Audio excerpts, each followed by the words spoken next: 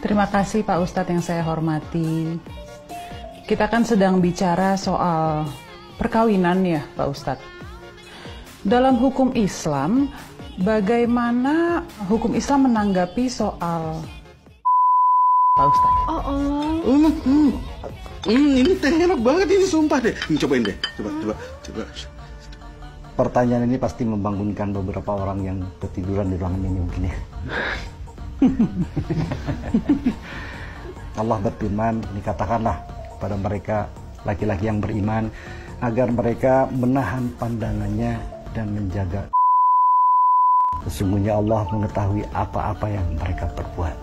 Dan katakanlah kepada kaum wanita yang beriman, jagalah juga pandangan dan juga jagalah hati, jagalah perasaan, jagalah semua apa yang terjadi sama pasangan. Sehingga apa yang ditanyakan tadi tentang menurut hemat saya tidak perlu dilakukan.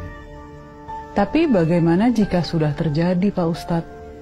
Segala sesuatu yang melanggar perintah Allah itu dosa. Dan kalau sudah berdosa, sebaik-baiknya adalah bertobat. Bertobat. Berarti suami saya Ivan dan Bella, anak dari Pak Rizal dan Ibu Erika harus bertobat ya Pak Ustadz ya? Sekar, kamu mau apa? Maaf, kami permisi dulu.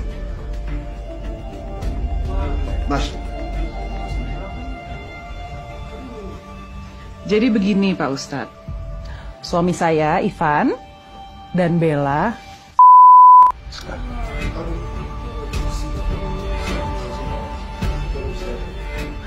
Dan Bella sedang mengandung. Ya, Saf? Sekar. Oh, nyaris. Sekar.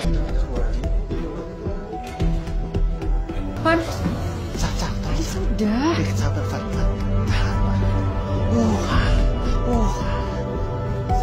Mereka sudah dua tahun.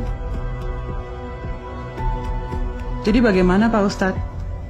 Agar dua orang ini bertobat. Sekar,